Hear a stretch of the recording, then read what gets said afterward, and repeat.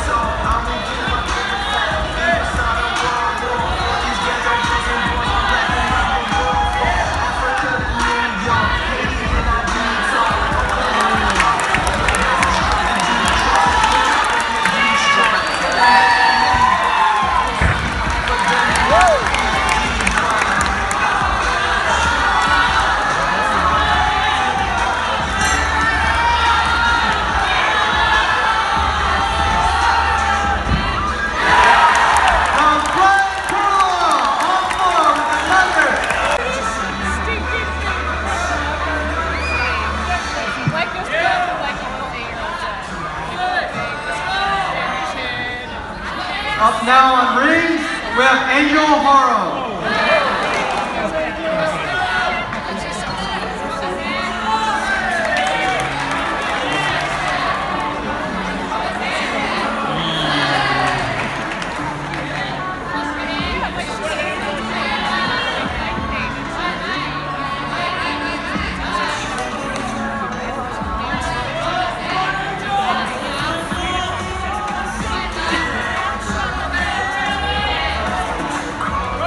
Josh Dixon on horse for Cal last turn. Up next, we got Bailey Perez on four.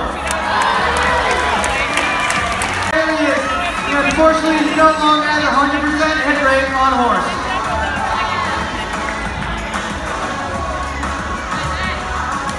On high bar, we have Motohiro Yamada.